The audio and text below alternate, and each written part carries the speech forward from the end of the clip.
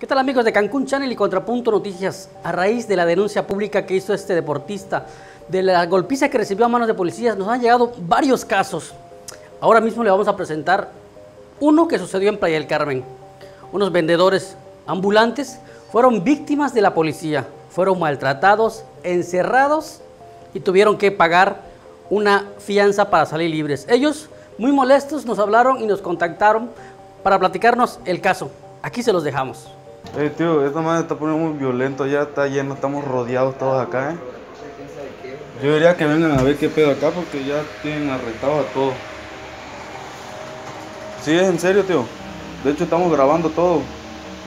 Pues véngase, ¿qué es más importante, coño? Pues ayer yo martes 8 de octubre yo estaba en la ciudad de Chetumal ejerciendo mis labores, trabajando puesto que nosotros nos dedicamos a vender artículos, acolchados, sábanas y todo lo que tenga que ver para el hogar. Cuando recibí una llamada de mi hermano, nosotros estamos trabajando en Playa del Carmen. Pues ahí nos dedicamos a vender los mismos artículos, entonces nos venimos a trabajar para Playa del Carmen, pero ayer desgraciadamente yo no estaba en la, en la ciudad de Playa del Carmen. Cuando recibí una llamada que tenían, ahora sí que que rodeaba pues que toda la casa. Yo le pregunté, pero ¿por qué? Pues que según había reportes de arma de fuego.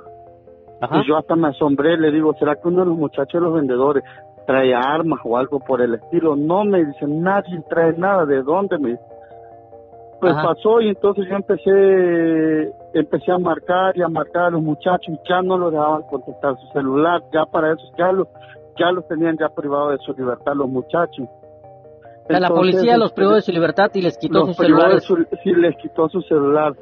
Y pues yo intenté llamar, de hecho yo mandé WhatsApp, están bien, cómo están.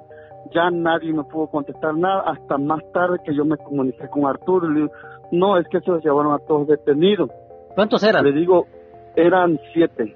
Todos vendedores ambulantes. Todos vendedores, todos vendedores y el chofer del carro. Ya. ¿Ustedes de dónde son? ¿De dónde vienen? De Chetumal, Quintana Roo. Ah, ok, de Chetumal van a Playa a vender. A Playa a vender, pero okay. usted sabe que cuando no hay nada en una ciudad, nos trasladamos a otra ciudad. Ok, se mueven en grupo. Ah, exactamente. Entonces, ayer le hablan para decirle que un grupo de policías se tenía rodeada la casa donde vivían, los agarraron y los llevaron detenidos. Sí, de hecho los revisaron en el lugar, los revisaron todos, revisaron los carros, no encontraron nada no encontraron nada y al no encontrar, eh, los muchachos vinieron a la casa, a la casa, de ellos vinieron a almorzar, el carro estaba estacionado, ni siquiera el carro está en movimiento. Cuando ellos vieron la casa estaba rodeada de policías y todo, y, y, y, el carro. Okay. Y entonces subieron los policías hasta la casa y no es que tienen que abrir el carro. Si no deben nada y se vayan ya, bueno, pues el, encargado de la llave vino y lo abrió. Entraron a la casa sin, tener una orden de aprehensión ni nada, ¿no? sin tener una orden de aprehensión, sin tener nada. De hecho, ahí en los videos se aprecia cómo tienen rodeada toda la casa. Okay. Entraron, revisaron. No, pues que hay que revisar a los muchachos. Nada, deben que bajen, dice. O sea, con ese engaño lo sacaron de la casa. Si no deben nada, que bajen, dice.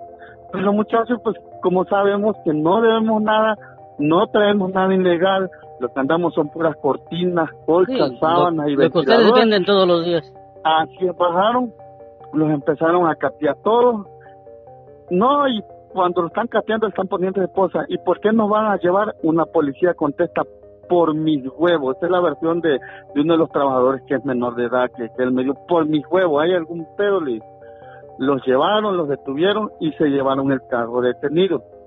Ya estando la municipal me comenta mi hermano que ya estando detenido, pero si es que no le encontraron nada al carro, nosotros íbamos a interponer una denuncia a, la mesa uno, pero por miedo a de que pongamos la denuncia, entonces no hace que le siembren algo, no lo hicimos.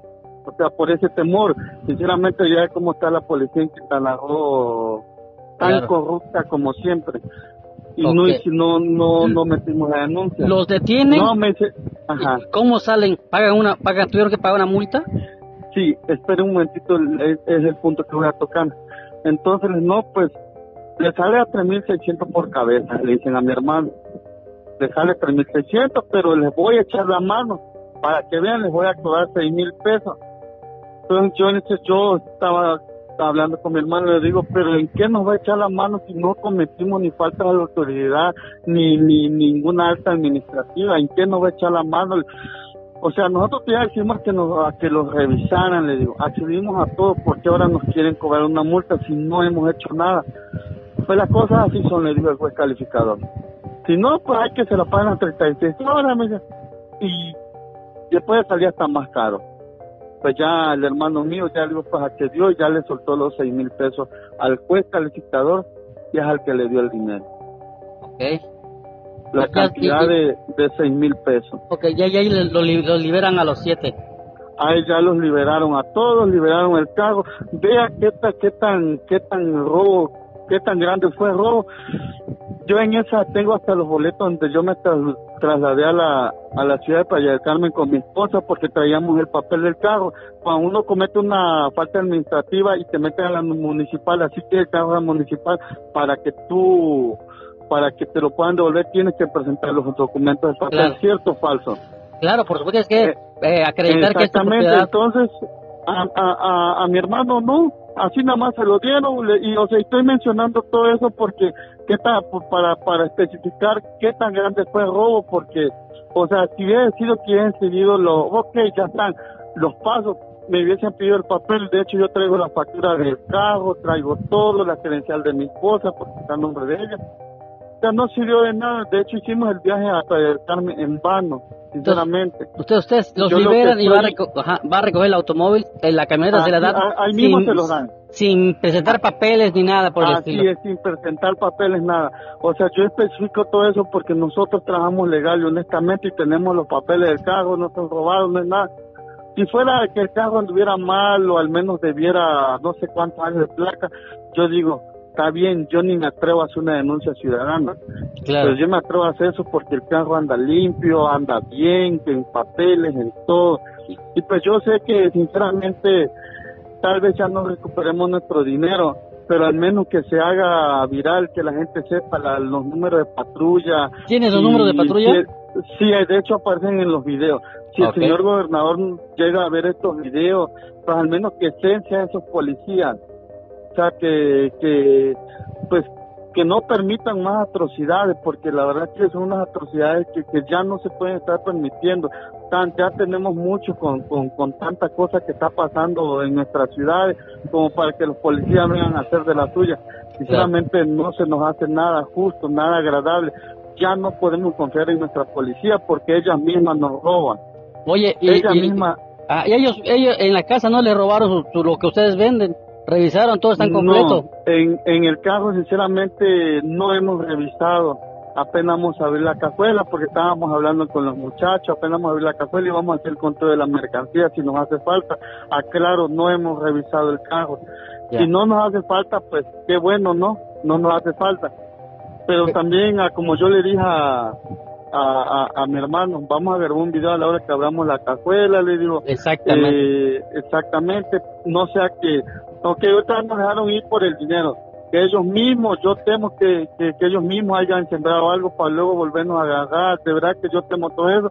Y también yo temo, pues, que de ahí no vayan a querer agarrar barquitos para estarnos extorsionando cada nada. Porque, claro, porque pues usted sabe que de ahí de ellos se agarran. O, pues amigo, te agradezco la confianza que nos tienes para denunciar este caso. Eh, sí, es verdad, la policía en Quintana últimamente está actuando de una forma mala.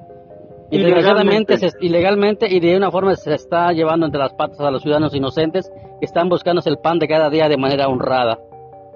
Te agradezco tu confianza y este, como, dime, dime. como le decía a mi hermano, o sea, ya no nos dejan trabajar. Ok, entonces, ¿qué quieren? Que uno haga un cuchillo y se empiece a asaltar comercio. Ya nos quieren jugar peor que Chapo Guzmán, por un decirlo así. Eso ya no es justo. No nos dejan trabajar, nos extorsionan no sé a qué camino nos van así. Sí, le están orillando a, cosas indebidas, diría uno, ¿no? Sí. Y no se vale, no se vale. como digo, o sea, yo asiento en este video antemano después que esto sea viral, que si algo le pasa a, un, a uno de mis muchachos, de mis vendedores, o a mi hermano, o a mí, yo hago responsable de esos números de las patrullas que aparecen en los videos, los hago totalmente responsable de lo que pueda pasar en mi integridad física o de, o de mis compañeros, de los que andan vendiendo. Amigo, te agradezco la confianza para escuchen el Contrapunto Noticias.